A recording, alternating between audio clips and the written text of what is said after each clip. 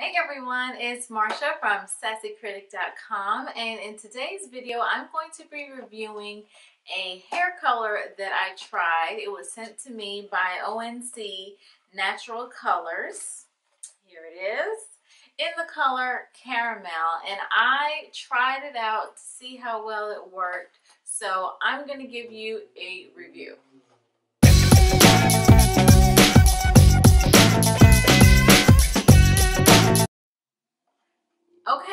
So um, a rep from ONC Natural Colors reached out to me to offer me to try um, this natural hair color. It is free of ammonia, resorcinol, parabens, silicone, and nonoxynol. Um, it's free of those chemicals. It does have, here it says it has organic wheat protein, aloe leaf juice, comfrey leaf extract, orange peel extract, and chamomile extract. All of those are organic ingredients in it. Of course, it has other things, but they um, say that by using this product, you're promoting your health and the sustainability of the environment, and you are not using hair color that has a bunch of toxic chemicals in it, like a lot of box hair colors tend to have ammonia and things like that in it. So I chose the caramel color in 6CA, considering I haven't dyed my hair in a couple years. Um, I figured it wasn't going to come out too light. I knew it wasn't going to come out this color caramel like on the box. I knew it was going to be kind of like a darker brown.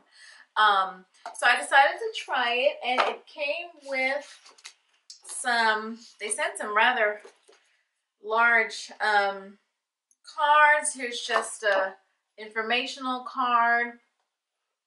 Um, basically, the company says that their hair dye is a permanent hair dye that's free of ammonia and it's rich in certified organic ingredients, nutrients, and antioxidants, amino acids, nourishing vitamins, and natural plant extracts. Chemical ammonia-based hair color uses high pH chemicals that are like 10.5 to 12.5 pH, um, and that tends to damage your hair. Their um, hair color has a lower pH of 8.5 which they say is not damaging to your hair. And instead of the ammonia, this hair color uses heat to get the color into the hair, to penetrate the hair shaft. And um, it is available in 29 different tones. It's also GMO-free, gluten-free, toxic-free, not tested on animals, and hypoallergenic and suitable for asthmatics. So just so you can see that there. Um, this is one of the informational things that they sent. Um, let's see. And then this one is just kind of the instructions. Okay, so these are the instructions. I followed the instructions for um, people who do not have colored hair because it has been, like I said, about two years since I last colored my hair. So most of that color has grown out. It's kind of on my ends. So first what you do, well, first of all, it came with the gloves. It came with a plastic cap a bowl, a mixing bowl, and a brush. I kind of threw those things away so I can't show them to you, but it came with that stuff as well as the color and um, so I mixed it up, mixed the colors. I preferred to do it in the squeeze bottle instead of using the brush because the brush to me was just taking too long. So I put it in my hair following the instructions. You leave it for 10 minutes, not getting the roots. And um, after that 10 minutes goes by, you then put the remaining color onto your roots and everything. And then you uh, put the plastic cap on. And for fine hair and for really thick hair, you um, either go under like a dryer for 20 minutes or you can just kind of blow dry it over the cap for 20 minutes. So what I did was I put the plastic cap on and sat under my bonnet dryer for 20 minutes to help the color penetrate into my hair. Then, so it's 30 minutes processing time.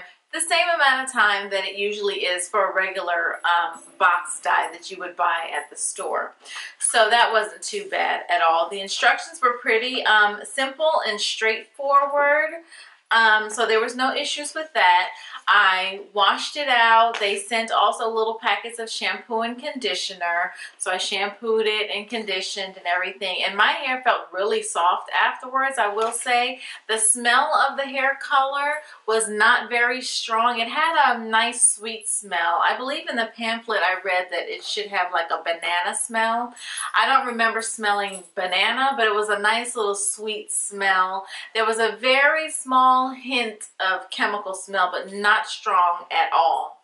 Um, so it was a pleasant experience. It wasn't messy, um, surprisingly, because in the past when I've dyed my hair, I kind of get dye all over the place. But this was not messy. Um, so I washed it out, styled my hair as normal, and then waited for it to dry. Immediately, I could see that the color took right here. Um, right at the very front of my hair. I could see that it was brown. Sorry, that's my dog shaking off. um, I could see the color. Um, and so after my hair dried and I fluffed it out, um, I will insert a picture right here to show you how my hair looked in the end. As you can see, it did get a little bit lighter. Um, not as light as I would have liked it to. The color didn't come out as I expected it to. Now, considering my hair was very dark, it wasn't exactly black, but a very um, dark brown. Um, I thought the color was going to show a little bit more. So here it is here also. This is day two. Um, and I still don't really see the color that that much. It's not very bright, but I'm assuming because from my previous experiences that maybe as the days go on, the color might start looking a little bit lighter. I can still mostly see it just right here at my hairline and right in the little corner here. Um, now, one other thing that this brand says that it does is that it covers gray hairs. Um, it actually says to, if you have over 40% of gray hair, they have specific, um, a specific line of colors that you should purchase. My hair is not even 40% gray. I do have some gray hairs like randomly all up in the top of my head. Unfortunately, this color did not cover my gray hairs. They are still gray. They are still silver and refusing to be colored. So if you color your hair and you have gray hair, you might understand that struggle of trying to cover these grays that just don't want to be covered. So um, that didn't work for me. Um, but all in all, I would say that this hair color is not bad. I do like that it is pretty much mostly natural and made with organic ingredients. I'm pretty sure there are there is some chemical in there, um, but in comparison to regular box dyes, at home dyes, it's probably better for you because it has less of those toxic chemicals in it. Um, other than that, I do like the color tones that it comes in. Obviously, I've only tried this one, um, but it, they do have a nice range of colors. Um, it works for different hair types. Um, but I would say the cons are did not cover my gray hairs and the color did not come out exactly quite as caramel colored as I had hoped all over my hair. It's just kind of like in mostly in the front. But like I said, maybe it'll change. I don't know. But I like to kind of see those immediate results. So um, I guess we'll just have to see. Um, these are sold online and I will put the price right here you can purchase on their website and I've also seen them for sale on Amazon as well. So if you're interested in doing a mostly natural hair color, um, this is definitely a company to consider, ONC Natural Colors. Um, of course, there are even more natural ways to dye your hair, but like henna and things like that. But if you're not into doing that, because that is a time-consuming process, and if you want to do something a little bit quicker, but still mostly natural, this is definitely a brand that you could um, try.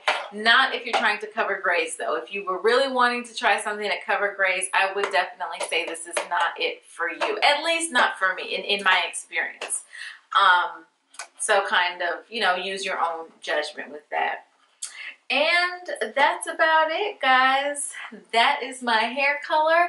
Follow me on Instagram and where I will post um, pictures and you'll see kind of like the the journey of this hair color to see if it lightens up or not. I did post kind of my um, process of doing the dye on my hair on Instagram, on my Instagram story. So please make sure you follow me on social media, especially Instagram, Snapchat. I do have a Facebook page, which is Sassy Critic Blog, I think it's called. But anyway, other than that, guys, that's all I have to say. That's my review of this ONC Natural Colors hair dye. And I will see you in the next video. Don't forget to subscribe to my channel. Bye-bye.